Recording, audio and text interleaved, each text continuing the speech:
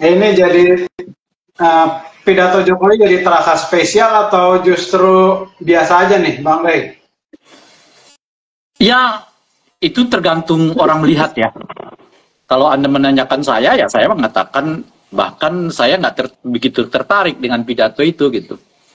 Karena menurut saya itu tidak ada yang apa pidato yang memberi inspirasi, memberi apa namanya itu ya uh, perspektif gitu. Uh, beliau ini kan anak membacakan soal deretan keberhasilan yang beliau uh, uh, lakukan lah. Ya tentu uh, karena ini lebih banyak aspeknya ekonomi, saya kurang mengerti gitu. Tapi tidak berbicara pada aspek yang lain, yaitu aspek yang berhubungan dengan jiwa bangsa ini gitu. Nah, kalau yang berhubungan dengan jiwa bang, yang berhubungan dengan ekonomi itu, ya saya kurang mengerti karena itu budak, bukan bidang saya gitu ya. Sehingga kalau beliau mengatakan pengangguran berkurang, ya, kemudian uh, kita bisa stabil, ya. angka pertumbuhannya 5% gitu ya, inflasinya bisa ditekan, macam-macam, ya saya nggak nggak terlalu paham lah kalau soal itu gitu. Nah oleh karena itu ya karena uh, bicaranya banyak sekali, hampir boleh disebut semuanya berhubungan dengan ekonomi, ya saya nggak terlalu mengikutinya gitu ya, nggak terlalu berminat gitu. Nah bahkan bagi saya yang lebih menarik itu sebetulnya pernyataan Mbak Puan ya, yang memberi isyarat penting tentang adanya ke apa namanya itu ya, ada ya adanya semacam kemerosotan di dalam berdemokrasi dengan istilah-istilah yang dipakai oleh Ibu Ibu apa namanya Ibu Puan misalnya negara bukanlah untuk orang per orang tapi negara adalah untuk untuk semua orang dan seterusnya seterusnya itu. Nah jadi tanggapan terhadap pidato Pak Jokowi itu sejujurnya karena lebih banyak mengemukakan aspek yang berhubungan dengan ekonomi gitu, ya, ya saya nggak terlalu uh, meminatinya gitu kalau saya gitu. Mari, uh, Jokowi juga kan uh, memamerkan capaian perkembangan hukum nih di Indonesia. Dia bahkan hmm. merinci bahwa dia merevisi 1.200 pasal dengan mengesahkan Undang-Undang Cipta Kerja. Nah ini juga menarik nih Bang Rey. Mungkin juga Bang Rey masih ingat bagaimana mahasiswa datang ke DPR untuk uh, mendemo itu. Kira-kira pantaskah Jokowi memamerkan itu capaian di bidang hukum? Iya jelas itu bermasalah gitu. Uh, pertama kan seperti uh, kita ketahui bersama, proses pembuatan undang-undang cipta kerja itu tidak memenuhi unsur ketentuan seperti atur di dalam undang-undang. Bagaimana tata cara membuat aturan kan akhirnya dikoreksi oleh Mahkamah Konstitusi gitu. Nah yang kedua adalah substansi dari undang-undang ini juga ya bermasalah sekali ya, terkait dengan uh, tentu kita baca banyak sekali uh, protes dari kelompok buruh khususnya ya yang berhubungan dengan apa namanya ini undang-undang cipta kerja gitu ya. termasuk menurut saya semangat dari undang-undang cipta kerja ini sentralisasi kekuasaan di tangan pusat gitu yang mengabaikan hak-hak ya daerah untuk mengelola sendiri ya pola ekonomi yang memungkinkan mereka untuk bertumbuh gitu karena semua macam izin yang berhubungan dengan eksplorasi sumber daya alam sekarang diserahkan semuanya ke pusat. Maka seperti sekarang misalnya ya pusat membagi-bagi jatah ya ormas-ormas tertentu untuk mendapatkan uh, uh, uh, izin eksplorasi gitu padahal tanahnya adalah tanah daerah sebetulnya gitu. Nah, ini semua bisa terjadi akibatnya kemudian daerahnya bisa menjadi eh, apa namanya itu ya, menjadi semacam pemadam kebakaran. Kalau nanti terjadi sesuatu yang berhubungan dengan katakanlah misalnya oh, oh, oh, apa ke, kemeros ke, bukan kemerosotan ya tapi ya bencana alam dan seterusnya itu ya termasuk kerusakan lingkungan hidup dan seterusnya itu yang kena terlebih dahulu itu adalah pemerintah daerah bukan pemerintah pusat gitu. Nah jadi uh, bagi Jokowi mungkin itu keberhasilan tapi bagi saya justru itu mengembalikan kita kembali kepada sentralisme kekuasaan pemerintah pusat. Yang pada akhirnya ya ke sentralisme kekuasaan pusat itu ditopang oleh kepala para, pemilik modal itu yang mengakibatkan terjadinya ya apa yang kita sering sebut sebagai oligarki itu yang memang makin hari makin menguat kan. Misalnya eh, apa namanya itu ya eh, eh, makin kentalnya praktek eh, apa namanya borong partai di dalam pelaksanaan pilkada Ya jelas praktek borong pilkada itu membutuhkan biaya besar, bahkan boleh jadi lebih besar dari uh, uh, uh, kemungkinan terjadinya praktek politik uang gitu. Nah, dengan cara apa nanti si kandidat membayar semua ya partai-partai politik yang dibayar itu? Ya salah satunya dengan cara-cara investasi yang memungkinkan pengusaha masuk ya dan dengan itu kemudian ya ke, apa nama berbagi keuntungan dengan partai-partai politik yang uh, ikut mendukungnya dan seterusnya gitu. Nah itu yang kita alami gitu. Itu satu hal. Hal yang lain kalau disebut dengan uh, uh, jangan terfokus pada soal undang-undangnya gitu, tapi terfokuslah pada kualitas substansi dari undang-undangnya. Karena kita bisa banyak buat undang-undang dan aturan, apalagi di tangan Pak Presiden Jokowi ya aturan bisa dibuat dua bulan, tiga bulan, undang-undang omnibus law yang sedemikian tebal bisa dibuat dalam enam bulan gitu ya. Ya uh, mestinya kita berbicara bukan banyaknya, tapi kualitas dari undang-undang itu sendiri seperti apa gitu. Itu satu. Nah yang kedua terkait dengan penegakan hukum, mestinya yang perlu disoroti oleh Pak Jokowi itu adalah makin melemahnya ya situasi kita dalam konteks menghadapi tindak pidana korupsi. Indeks ya uh, seperti kita ketahui sekarang kan indeks apa namanya pemeringkat kita di dalam hal pemberantasan korupsi tahun demi tahun di era Pak Jokowi ini makin menurun.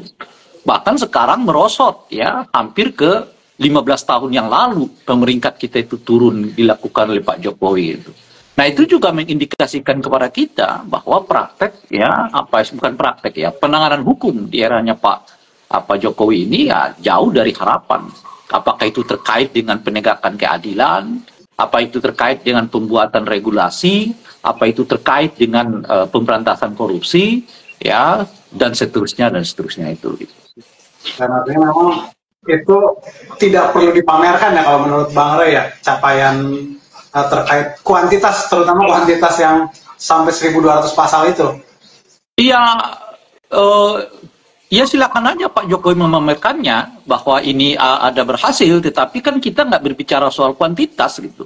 Apalagi kuantitasnya seperti yang saya sebutkan tadi itu dibuat dengan cara yang melanggar aturan gitu loh Pak. Ya, oh, melanggar. Ya. ya bahkan melanggar ya. aturan ya kalau menurut ya. Ya. Iya kan Undang-Undang Cipta Kerja itu kan udah diputuskan Mahkamah Konstitusi itu melanggar tata cara pembuatan aturan, pembuatan aturan undang-undang kan tata cara tata cara membuat ya peraturan ya eh, yang berkaitan dengan undang-undang gitu. Kan udah di, di kan diminta oleh MK diperbaiki tata caranya gitu. Dan itu bukan kali pertama kan. Ya putusan MK juga mengindikasikan, mengindikasikan itu putusan terkait dengan uh, sua apa namanya itu masa jabatan oh sorry ya uh, usia kan mengakibatkan ketua MK eh, akhirnya diputus bersalah oleh MK-MK gitu. Putusan MK yang kemarin juga mengalami hal yang sama dan sebagainya dan sebagainya gitu. Jadi eh, berbicara tentang kuantitas itu penting, tetapi kalau tidak disertai dengan berbicara dengan kualitas, tata cara pembuatan aturannya, itu bermasalah. Itu sama seperti eh, ngerobos gitu loh, Pak. Ya kan nggak penting lah caranya, yang penting adanya. Itu memang polanya Pak Jokowi. Polanya Pak Jokowi itu seperti mengabaikan eh, bagi prosesnya. Yang penting tujuan gitu. Padahal proses itu dibuat ya untuk membuat mekanisme yang patut dan layak dan ajak sehingga semuanya bisa diukur itu satu. Yang kedua nggak nggak menjadi bahan banjakan gitu. Nah dan yang paling penting dari itu proses itu dibuat dalam konteks ya uh, uh, melibatkan partisipasi publik. Nah, itulah yang kurang di eranya Pak Jokowi ini gitu. Oke, Bang Ray, kita coba lagi elaborasi pidato kenegaraannya Jokowi. Salah hmm. satunya adalah dia melakukan atau mengucapkan permintaan maaf lagi nih. Bahkan dihitung sampai 3 sampai 4 kali nih. Apa maksud atau mungkin apa makna dari permintaan maaf yang dilakukan di uh, pidato yang cukup serius dan cukup formal begitu, Bang Ray? Ya itu permintaan bas, ba, maaf basa-basi ya. Kenapa hmm. saya sebut permintaan maaf basa-basi? Karena pertama kita nggak jelas. Kenapa? Ya walaupun secara formal di depan pidato kenegaraan gitu. Iya. Mau di mana pun permintaan maaf itu ya permintaan maaf basa-basi. Pertama karena beliau tidak menjelaskan apa sih sebetulnya yang uh, dilakukan oleh beliau dianggap uh, uh, uh, patut untuk diminta maafkan. Beliau kan hanya mengatakan bagi mereka yang kecewa. Lah persoalan bangsa kita yang carut marut kayak begini ini nggak bisa nggak nggak nggak bisa dilihat dari sekedar soal kecewa nggak kecewa. Gitu. Nepotisme yang merajalela itu bukan soal kecewa dan kecewa. Itu soal pembangunan peradaban Indonesia gitu loh. Pembangun uh, tadi misalnya penegakan hukum kita yang seperti sekarang semeraut ya MK buat aturan begini, MA buat uh, buat keputusan begitu, KPK uh, eh, uh, seperti sekarang ya, partai-partai politik kita ricu sendiri itu nggak bisa diselesaikan dengan permintaan maaf, hmm. gitu. Nah itu bukan soal permintaan maaf, itu soal bagaimana membangunnya kembali, menurut saya gitu. Nah yang kedua adalah permintaan maaf itu setidak karena sudah diungkapkan oleh Pak Jokowi sebelumnya, kita tidak lihat ada perubahan sikap dari beliau terkait dengan isu-isu yang kita sebutkan. Tetap ada jalan nepotisme politik seperti yang kita sebutkan tuh bahkan mungkin lebih merajalela di pilkada 2024 ini gitu. Nah makanya kan saya sudah mengatakan ya dari awal permintaan maaf itu setidaknya dibuktikan uh, oleh Pak Jokowi dalam sebuah tindakan, tidak hanya di lisan. Apa misalnya? Beliau mengatakan saya melarang Kaisang tuh terlibat dalam pilkada. Saya melarang Bobi terlibat di dalam pilkada. Tapi kalau mereka tetap maju, ya itu urusan mereka. Yang penting saya udah larang gitu. Misalnya begitu. Nah, kan kita nggak pernah mendengar Pak Jokowi melakukannya gitu. Yang ada kemudian ketua ketua umum Golkar mangkat gitu, ya mundur dari jabatannya gitu. Ya itu pula yang kita dengar gitu. Menambah carut marut politik kita gitu loh. Nah, maksud saya permintaan maaf itu harus disertai dua hal itu gitu dan bagian-bagian yang dipermintaan maaf maafkan itu ya sebetulnya bukan tidak terlalu berhubungan dengan maaf nggak maaf karena itu berhubungan dengan bagaimana cara memperbaikinya gitu. Nah makanya saya mengatakan itu bahasa basi sekedar untuk menaikkan citra beliau kembali lah supaya nanti oleh para pendukungnya beliau ini disebut rendah hati ya kan presiden yang uh, mau meminta maaf ya bla bla bla lah gitu. Jadi tujuannya sebetulnya bukan pada permintaan maafnya. Tujuannya itu pada upaya untuk menaikkan popularitas dan kesukaan publik lagi terhadap beliau supaya ada bahan cerita bahwa bahwa Pak Jokowi ini adalah presiden yang lemah, presiden yang baik hati, yang apa namanya mau minta maaf, ya kan uh, rendah hati, ya macam-macam. Seperti yang kita dengar kemarin kan para para apa namanya para fansnya kan mengungkapkan hal yang seperti itu gitu. Lalu apa apa yang kita alami setelah permintaan maaf itu nggak ada. Yang ada ya ketua umum Golkar tuh mundur gitu kan. PKB dengan NU ya begitu gitu ya misalnya gitu ya.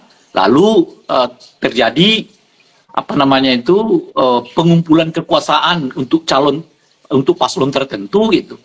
Lalu apa apa efek dari permintaan maaf itu yang nggak ada. itu yang saya sebut tadi sebagai bahasa basi itu. Ya. Mari uh, dengan 11 menit uh, Jokowi pidato dan sampai ada kita hitung hampir 2000 kata dia melakukan apa memberikan pidato. Nah kira-kira skor berapa nih 1 sampai 10 menurut Bang Rey atas pidato kenegaraan Jokowi yang terakhir? Saya cuma bisa menilainya 5 ya. Kenapa? Karena menurut saya bobot pidato Pak Jokowi itu berhubungan dengan ekonomi. Nah, padahal hmm. ya itu satu hal lah kalau soal iya. ekonomi ini saya nggak nggak bisa bantah karena itu bukan wilayah saya gitu ya.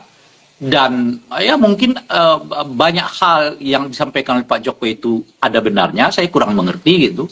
Tapi saya lebih konsen pada wilayah yang saya sebut sebagai ruhani bangsa ini. Apa ruhani bangsa itu? Yaitu tadi penegakan hukum, demokrasi, anti nepotisme gitu misalnya ya transparansi, partisipasi publik, ya, uh, mengubah mental masyarakat kita dari mental apa namanya ter, tergantung menjadi mental yang lebih mandiri gitu ya pemberantasan korupsi ya perbaikan institusi kepolisian kejaksaan.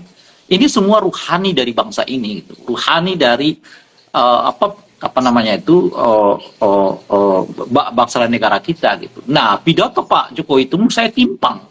Karena hanya menyoroti hal-hal yang berhubungan dengan pembangunan fisik sembari hanya memberi sedikit perhatian terhadap hal-hal yang berhubungan dengan uh, uh, apa namanya itu tadi ruhani kebangsaan. Tapi saya nggak terlalu terkejut karena memang 10 tahun pemerintahan uh, Pak Jokowi ini corak yang paling dominan itu adalah beliau demi pembangunan fisik bisa mengabaikan hal-hal yang berhubungan dengan prinsip-prinsip rohani bangsa kita gitu. Oke, Oke Bang Rey, ya. yang dibicarakan atau mungkin yang jadi keprihatinan Bang Rey justru ada di pidatonya Mbak Puan nih. Nah, sedikit tentang pidato Mbak Puan, apakah ini memang murni sikap PDIP atau murni sikap Ketua DPR melihat persoalan bangsa ini? Ya, dua-duanya menurut saya kurang kurang bisa dipisahkan. Jadi Puan uh, ketua DPR dan sekaligus dengan uh, ketua uh, apa PD Perjuangan yang sebetulnya sedang mengoposisi Pak Jokowi. Jadi dengan per, apa dengan dengan pidato-pidato itu di satu segi beliau mengingatkan uh, Pak Jokowi sebagai presiden tentang misalnya pentingnya uh, mengelola bangsa ini dalam uh, budaya musyawarah gitu ya bu, uh, budaya memberi kesempatan kepada seluruh warga negara ya untuk uh, berpartisipasi. Jangan didominasi dengan keluarga sendiri misalnya begitu ya nah itu uh, bisa muncul dari uh, pernyataan beliau sebagai orang PDI tapi saat yang bersamaan pidato itu memang perlu diungkapkan karena itu fenomena yang kita alami saat ini yang berimplikasi terhadap kerusakan demokrasi kita di masa yang akan datang. Jadi itu pidato yang menurut saya ya oh, eh, apa beliau sebagai ketua DPR plus juga sebagai anggota PDI Perjuangan yang kebetulan berbeda uh, politik sekarang dengan Pak Jokowi dua-duanya kena gitu. Oke mungkin closing statement untuk uh, obrolan kita atau diskusi kita kali ini Bang Rey. Ya, saya sudah menyebutkan tadi ya. bahwa pidato ini pidato yang timpang ya karena hanya menyoroti aspek soal uh, uh, fisik bangsa kita tapi lupa menyoroti aspek yang berhubungan dengan jiwa bangsa kita gitu jiwa bangsa itu seperti yang saya sebut tadi itu soal ya pembangunan uh, uh, apa namanya hukum ya pemberantasan korupsi ya kan perbaikan institusi-institusi pendekat uh, apa namanya institusi-institusi uh, uh, penegak hukum kita gitu ya uh, anti uh, nepotisme ya uh, uh, uh, um, apa namanya dan sebagainya dan sebagainya itu gitu ya. Nah oleh karena itu menurut saya uh, nilai terhadap pidato ini nggak lebih dari lima karena nggak menyentuh sisi yang lain yang menurut saya sama pentingnya dengan pembangunan fisik itu gitu. Oke terima kasih ya. Bang Rey. Sama-sama. politik dan Madani. Apakah Bang Medcom juga uh, setuju dengan nilai rapor 5 untuk pidato kenegaraan? kita serahkan ke teman-teman atau gini, ini bukan bukan nilai merah atau nilai ini enggak gitu.